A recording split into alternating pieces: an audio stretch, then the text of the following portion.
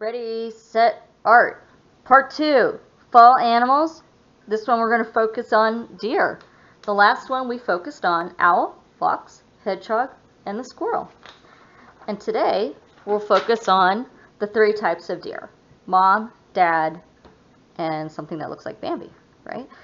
Cute details inside here as well. A lot of students like doing this for their main project. The main project, again, is a fall animal with a fall scene going through it. So let's get started.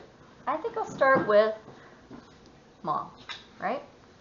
So even though on your sketchbook page it will look something like this where we have the three all on one page for demonstration purposes, I'm going to draw bigger than that and I'll take up the whole page. I'm going to try to keep some of it up here so you can I go back and forth, but for the most part I want you to focus on the drawing part. Okay, so the first step is the axis line. So looking at it, it's straight for the torso. So remember that really axis lines is head, head to torso. In this case, it goes from head to shoulder blade like this. So I'll put that line in as well. All right, and then I want to go ahead and put the circulars in for the chest area and the hind area. Sometimes I draw this area way too long, so just kind of double check that. I think you saw that in the last video. And then I'm going to go ahead and put in my angle for the head. Okay, and then I'm going to go ahead and put that shape in. All right, maybe this part of the ear so I can uh, figure out the placement later. And then I'm also figuring out the eye angle and the nose. Okay. Next, the legs. So the legs are longer, right? So I'm going to compare these legs to the body, and it's actually a little longer. So I'm going to put my dash line here, and you can see I used a seat measurement. From there, I'm going to go ahead and start with the hind area because of the movement of that leg. So I'm going to go ahead and angle here. Okay. That's the first leg. See, I just hold my pencil to the angle of the body and compare. When you're in college taking art, it's the same thing. It's, it's how you learn to draw very quickly. Um, I once knew a student who uh, he kind of struggled all year with drawing, but then once we got to the actual point where we're dealing with drawing animals and people and the axis line, this kid was really great in math and he ended up just being a superstar student. He was easily the fastest student in the class when it came to this type of sketching, and he had it correct every time. So, you know, um, if you if you follow those steps with the angles, you'll get it just right. Okay, just figuring out my legs in the front. All right, so I have the basis. Oops, maybe a tail. So I have the basis to figuring out the rest. And so we're going to go from a geometric to a more organic shape. I'm going to go ahead and fit in this body shape. Generally, the necks have this part kind of coming out like this. I'm going to curve that part in. If you've ever seen a deer up close, they have a very graceful look to them, right?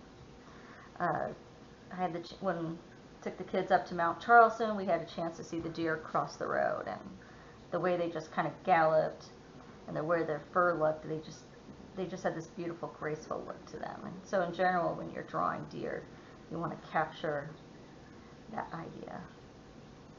Okay, I'm almost done with this part of the leg.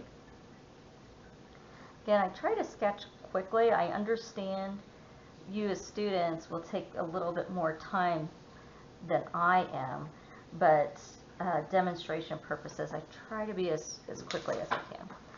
Let's look at that leg real quick. Look how that goes right? So again, that graceful look. So I'm not going to have it completely straight right there. I need to kind of tuck it in, and then I get up to that knee, and then I bring it back up. Okay? All right, those dainty little legs. Same with the back one. My pencil needs to be sharpened. Okay. And part kind of pops, this back part here. And these you'll find this worksheet on Canvas anyway, so you could just go from there if you feel you know how to do this. Sometimes we do that in class. We have a handout and you kind of go from there. Um, okay, that's looking good. Now for the face. So I'm going to lightly erase because we're reshaping. And they have this nice brow. It's kind of really strong indent, right? So, and then it goes into this snout. And they don't really have tiny noses. It, it kind of goes up like this. Look how big that is. And then we go into the mouth. It's very dainty and slim right through in here. And then this nice long jaw. For that eye area, it's a three-quarter view, so this side here will be normal. And this side we barely see. And I'm just filling it in for sketch purposes. Now those ears, those ears are big. Have big ears. Not to the point where they're like rabbits, but big enough. And they're slightly rounded right here. Okay, that's another little feature. Now, looking at my drawing, I probably need to actually even make that a little slimmer right there. That's okay. All right. So, we have the basis for mom, and now we're ready for dad. Okay, so dad's a little different. I chose a different profile because look, this is the way the head is facing, right? So, I'm going to get a new piece of paper. The body is going to be about the same, but bulkier. And then this part will change up, and this time we'll add antlers. Okay, so here we go. I'm going to go ahead. Remember, I'm just kind of comparing. This time this part's really more angled. And then from there, I'm going to go ahead. The head is really close to the body. So I'm looking at this angle and I know that it actually stops right there. So I'm, going to erase that line. So again, as artists, sometimes we see that we made a mistake and you just go back and correct it. No big deal. And then I love this part right here, this chest area, where it has kind of this bulky fur keeping him warm. Some chin hair. Okay. And then I'm going to put in the shoulder blade area the hind leg, tail. And then I double check to make sure if you're looking at it, it's not a super long body, like say a dachshund. Okay, now for the legs. So I'm going to see measure these legs. It's a little higher than the body. So if I'm looking at this about right, it's almost like this, and the legs are about here. Okay, and now I'm going to do my angles. So uh, that means I angle from here and I compare to the body.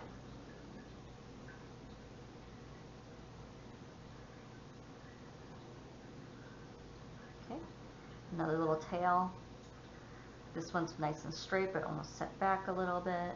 This one is moving forward. Okay, so for the most part, we have our proportions in, and we're ready for the detailing. So detailing, we're just kind of lightly erasing and making it a more of an organic shape. Organic means natural. All right, let's start with the face this time.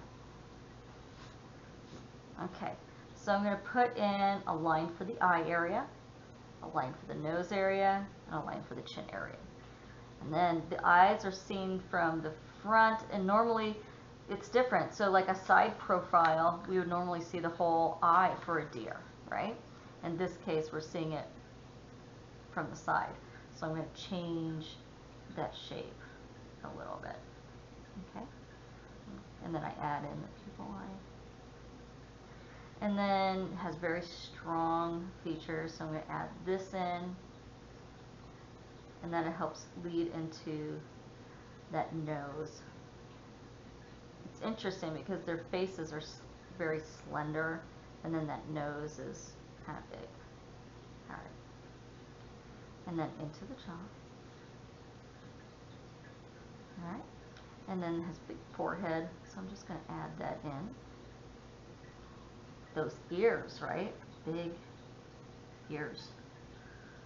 Easier to hear you with. Right? Big ears. Okay, so now when we move on to the antler, whatever you draw on one side, you need to draw on the other side. So if I put this shape in, I need to put that shape in.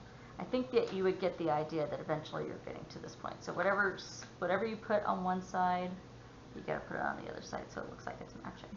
Okay, let's put in some fur. It looks like it's a little bulkier up here, so I'll bring that up. Right? Almost lion-like the way it is. Regal. Very regal looking. Okay? Let's put in that big shoulder blade. They have those big shoulder blades, a higher rear than mom. And then shaping this leg in. Again, these are they're bulkier than the females. Okay. And almost done with this side. Like I said, they're a little bulkier. Okay, I know it's sketchy, but remember when we're sketching, we're trying to get to the point where it's proportionally correct and then we can lightly erase in detail. And that's the point of sketchbook. Sketchbook, we're, we're just learning about proportion. So sometimes I put these circle joints in so I could help figure out the rest of the leg, how the shaping is. Kind of like when we drew uh, hands with the knuckles, right? Okay, and we have dad. From there, you could clean it up a little bit so that it's to this point. For sketchbook purposes, I mean for demonstration purposes, I try to clean up the line so it's easier for you to see. Now we're ready for our deer. And this baby deer, you're probably looking at and thinking that it definitely looks more like Bambi. Well, you have to know for the movie Bambi, they used real deer to draw from. They tried to get the proportions a little closer to how they look in real life. So that's why you're thinking, probably thinking it looks more like Bambi. Well, you're right, it does. That's what they were trying to do. Okay, so this one is going to might throw you off a little bit because of the size of the head. So why, you know, for children or for uh, young animals, why are their heads bigger? Because they're generally born with their adult size head. So yeah, their heads are a little bigger and then they kind of grow into it. So that's, that's just what that is. Okay, so I'm going to start with my axis line. It's a little different. It's angled and then comes up. Okay, so I'm going to draw a line. That was too strong of a line. And then I compare and that's the first axis line. Okay, and then I'm going to draw in the chest. It's a little squished right here because he's sitting. All right, and then my rear, it's angled. I think that's too far back. Let's bring that in.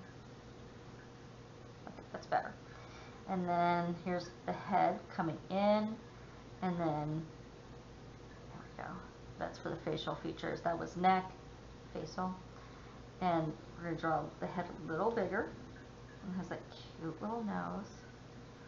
Okay. Those cute ears. So big. Right? They're just so cute. Big ears. Okay, you can start to see it's, it's creating that shape, right? But there's so much sketching in the middle, I'm going to go ahead and take some of that out. Alright, so eye placement. So how I do that is I angle and I just compare, right? This way we don't have one eye out of place. It's a three-quarter view, so on one side we see it a lot more, and the other side not so much. For these big doe eyes, I'm just going to put in a highlight there, and then you can fill it in. Okay. And then here, we don't see the eye as much. Darken that up. And they have those cute little fur lines here. And then these little cute fur lines here. There's short little fur lines, so if you had to indicate, you could put little dashes there. Bring that in. Oh, and that little nose. But again, they're little, and then it's funny, the snout part is kind of big, right? Okay, almost there. Let's bring in that nice jawline. Their cute little mouth. Right? I'm going to indicate the edging of that ear, and then some, maybe some longer fur. The edging of the ear, some longer fur.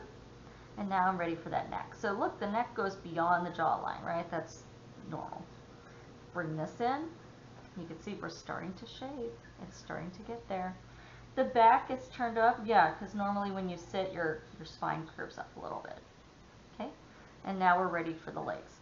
So To figure that out, I'm going to do some angling. I know you're not going to be able to see uh, my original drawing, but I'm just, you'll just know that I am doing my angles to figure out. Okay, so that was the top part of the leg. It goes out a little past the chest. And again, on the handout in Canvas, you'll be able to see the finish, more detailed drawing. A little bit of the body. Okay, so that was the front part. Let's figure out the hind leg. So this time I did the hind leg last because the hind leg is behind.